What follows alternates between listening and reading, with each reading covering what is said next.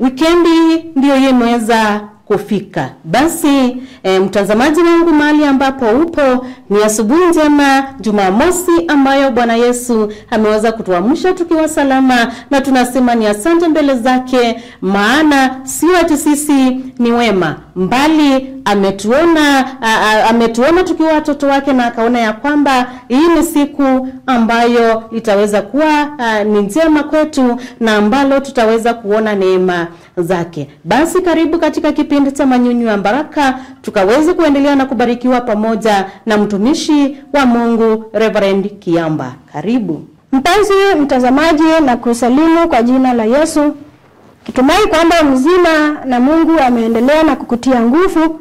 Mungu ameendelea na kunena na moyo wako na bado unazidi kumfuata kwa njia ya unyenyekevu. Karibu kwenye kipindi chetu cha Manyunyu ya Baraka, kwenye kipindi na runinga yetu ya Undugu. Tashukuru Mungu kwa sababu ni kwa neema zake tumefika umbali huu. Jina ni Reverend Kiamba, Director Eki Kimanza pale Machakos, na nashukuru Mungu kwa neno lake asubuhi ya leo. Tupate na kushukuru. Baba, katika jina la Yesu Kristo tuko mbele zako tukikushukuru. Tunakushukuru Mungu wetu kwa nafasi hii ambayo tumeweza kujumuika pamoja na mtazamaji. Tumeketi chini ya miguu yako kusikia sauti yako. Nena nasi Mwenyezi Mungu kwa sababu twakusikiza. Neema yako itutoshe na utubarikie. Kwa Yesu Kristo tumeomba. Amen. Tulipata somo katika kitabu hicho cha Ayubu sura ni ya tatu. Tusome mstari huo wa kwanza hadi huo wa nne. Ayubu sura ya tatu mstari huo wa kwanza hadi wa nne. Neno nasema kwamba baada ya hayo Ayubu aliufunua kinywa chake na kuilaani siku yake. Ayubu akajibu na kusema, naipata leo mbali ile siku niliyozaliwa mimi na ule usiku uliosema mtoto mume ametungishwa mimba. Siku hiyo na iwe giza, Mungu asiangalie toka juu, wala mwanga usiangazie. Neno ambalo ni ngumu, neno ambalo ni inamaanisha ina, ina, ina, ina akili zetu na mawazo yetu. Hadithi ya Ayubu ambayo tunaifahamu vizuri, tunaijua vizuri sana kwenye Biblia. Mtu aliye mwema, mtu aliyempenda Mungu, lakini shetani akaleta changamoto katika maisha yake, akataka kutoa ile furaha yake, ile amani yake, na Mungu akampa shetani ili aende amjaribu Ayubu, na majaribio ambayo Ayubu aliyapata yalikuwa ni mateso na mateso ambayo naweza kusema kwamba yalipata kumdhuru Ayubu sana yakamdhuru kifedha, yakamdhuru kimwili, yakamdhuru kihali, na pia ningesema kwamba ilimdhuru kimawazo, na akawa amesumbuka zaidi. Na wakati kama huu Ayubu anatamani afe ili apumzishwe dhiki hizi. Ni sura ambayo ningependa kusema kwamba inaanzia na tamko ambayo Ayubu aliisema baada ya kutembelewa na wale marafiki zake, ambayo ni sura iliyotokana na jaribu lake ama jaribio la pili alilopigwa nalo, pigo la manchipu kutoka wala wa mguu hadi utosi wa kichwa. Na kabla ya sura hii, sura ya kwanza, sura ya pili, mwanzo mwanzo mpaka katikati, sote tatamani kuwa kama Ayubu. Tapenda msimamo wa Ayubu. Alipoteza mali, akapoteza watoto na mambo mengine, na baba Ayubu ana Ayubu anasimama wima na kusema neno ngumu kwamba nilitoka uchi na nitarudi uchi. Bwana alitoa, Bwana ametoa, jina la Bwana libarikiwe. Lakini katika sura hii, huyo tunayetamani kuwa kama yeye huyo aliyemcha Mungu, aliyekuwa mkamilifu na mwelekefu huyo ambaye aliepukana na maovu, huyo ambaye alijua kwamba yeye na vyote alivyo navyo, hata kuzaliwa kwake ni maumbile ya Mungu. Hatujui ni kwa nini akailaani siku yake ya kuzaliwa. Hatujui ni kwa nini aliona kwamba asiishi Ni kwa nini alifikiria kwamba apotee na hatuwezi kuelewa, pengine hatuwezi fikiria wala hakupendezwa na mipangilio ya Mungu katika maisha yake, ama huenda kwamba alitaka kulalamika tu mbele ya Mungu kwa yale yaliyomzunguka, ama huenda kuna sababu zingine ambazo Mungu mwenyewe tu ndiye anajua. Lakini ni nini kinaendelea wakati kama huu ambapo Ayubu analaani siku ya kuzaliwa? Ni nini kinaendelea kwenye akili ya mtumishi wa Mungu Ayubu?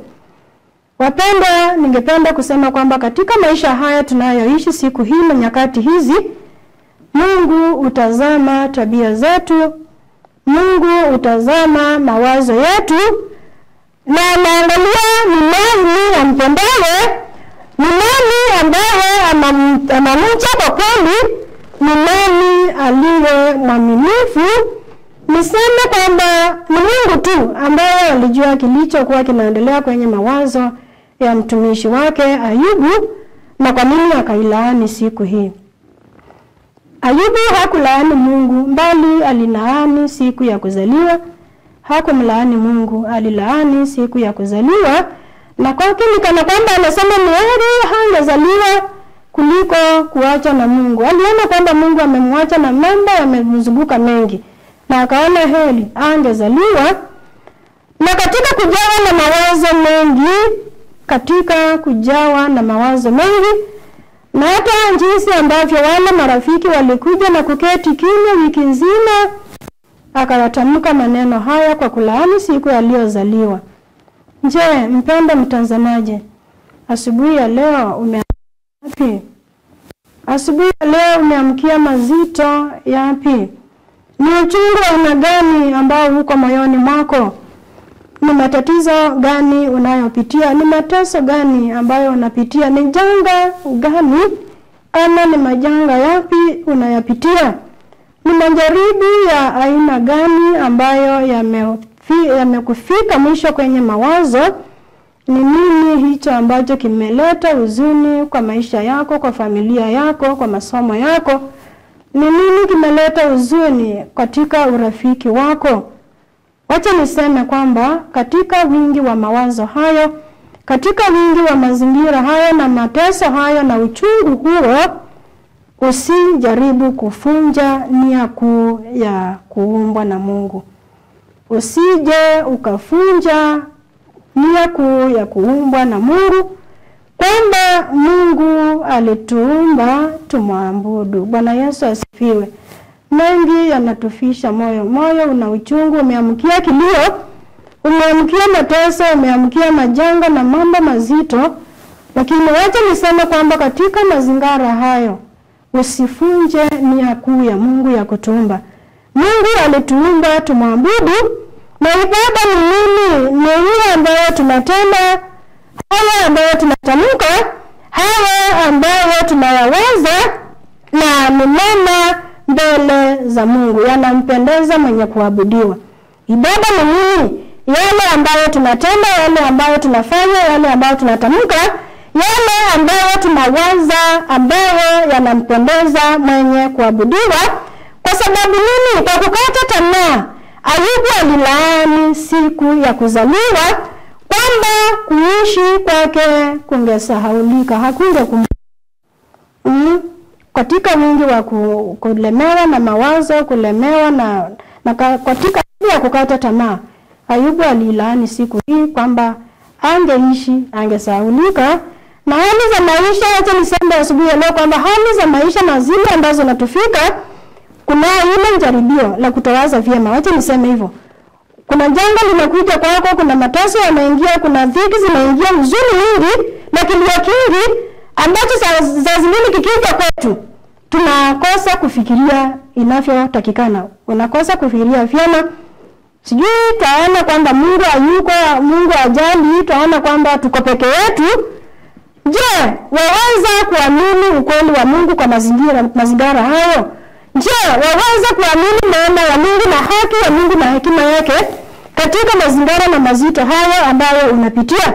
Ayubu aliongea katika machungu ya moyo wake, aliongea kwenye machungu ya moyo wake, na huu ujumbe huu ujumbe watuamsha tuwe na fikira zinazofaa wakati mazito yanatufika, wakati mazito yanafika wenzetu, huu ujumbe unatuita kwa pamoja tuwe na kufikiria vyema, kufikiria kwa njia inayopaswa, kwa maana tutapokea haya majaribu kwa njia tofauti tofauti. Eh, wewe unayapokea aje yanapokuja kwako? Majirani wanapokeaje? Watu wengine wanapokeaje majaribu yanapokuja kwao? Tuna ukweli ndani yetu, kile ambacho unakisema ndicho ambacho unakiwaza eh? ama tu ni kusema tu, unafikiria unafikiria nitajinyonga, ah, nitatoroka hiyo ndoa, nitakimbia, nitaacha hayo masomo, nitaacha hiyo urafiki, yale ambayo unasema yana ukweli ndani yake, ama ni kusema tu hicho ambacho unakiwa, unakiwaza. Masomo yana mambo mengi, uhusiano una mambo mengi, ndoa ina mambo mengi, familia na mengi mengineyo. Kila hatua ina changamoto zake, lakini wakati ambapo yanatufika tujiite tujiite kwa pamoja, tuangalie am I having the right thinking, tufikirie kwa mambo yanayofaa. Nimesema nia kuu ya kuumba ni Mungu, ni kumpendeza kwa njia ya ibada, na kwa sababu Mungu ndiye muumbaji na yeye ni mkuu na yeye ni mwenye nguvu na yeye anatujua maisha yetu, anajua kila jambo kutuhusu. Kwa hivyo, wapendwa, ningesema kwamba tunaweza kumwamini Mungu katika maisha yetu. Tunaweza kumwamini Mungu kwa familia yetu, tumwamini Mungu kwa huduma zetu, tumwamini Mungu kwa wito, tumwamini Mungu kwa watoto wetu, tumwamini Mungu kwa wake zetu, tumwamini Mungu kwa waume zetu, tumwamini Mungu kwa mambo yote, kwamba atatupa neema ya kustahimili yote kwa utukufu wake, kwa maana lazima tuyapitia, lakini wakati anapokuja mbele zako ya Angalia, niliumba nifanye nini? Ni mwabudu. Weka mawazo yanayofaa, fikiria vyema ili mpendeze Mungu, na kwa hayo atakutendea wema wake, kwa hayo atakuinua na neema yake itapata kukufunika. Bwana atubariki na alibariki neno lake asubuhi ya leo. Tupate kuomba. Baba, katika jina la Yesu Kristo, tuko mbele zako tukikushukuru. Asante kwa neno lako. Tazama mtazamaji, Mwenyezi Mungu ameamkia mambo tofauti tofauti, na jinsi ambavyo Ayubu alijawa na mawazo mengi katika kuzama kwenye mateso, e Mungu wetu, na akaweza kuilaani, akaona kwamba hapasi kuendelea na kuishi. Tunao wengi kwenye vijiji, kwenye ploti, kwenye boma zetu, Mwenyezi Mungu, mahala pa kazi, ambao Mwenyezi Mungu amekata tamaa katika maisha hayo. tunakuomba Roho wako Mtakatifu akawafikie na sauti yake ikawakumbusha kwamba wameumbwa kwa mfano wako na wameumbwa wa kuabudu, ili mawazo yao na matamshi yao Mungu wetu, maneno yao na matendo yao Mwenyezi Mungu yakakupendeze wewe mwenye kuabudiwa, ili Mungu wetu wabariki, na zaidi ya yote uwaonyeshe njia za kutoroka kwenye mateso, njia za kuhepa majaribu na machungu ya ulimwengu huu. Mbariki mtazamaji, nibariki na neema yako itutoshe siku hii ya leo. Kwa Yesu Kristo tumeomba, amen. Mtazamaji wangu, ni kweli kabisa tumeumbwa ili tuweze kuabudu Mwenyezi Mungu. Umeumbwa kwa mfano wake Mwenyezi Mungu na amekuweka na akakuumba ili ukaweze kukaa katika moyo wa kumwabudu kila wakati. Endelea na kulitafakari, kutafakari hayo ukijua ya kwamba kuna haja ya kukaa katika kuabudu Mwenyezi Mungu, maana alikuumba kwa sababu hilo tu. Kwa wale ndugu zetu, dada zetu ambao wanaenda makanisani siku ya leo ni kwa sababu ya kuabudu, ninawatakia ibada njema, ibada ya baraka, na Bwana akaweze kuwatangulia na mkaweze kuona mema yake. Kwa wale wengine ambao mnaweza kuwa uh, mnaenda katika katika kazi tofauti eh, katika mahali ambapo mnaweza kuwa mnasema ya kwamba uh, tuko uh, na hafla ya aina hii ya kusherekea. Mimbi wengine wako na hafla, wanalia, wanasema ya kwamba tuliweza kuachwa na wapendwa wetu.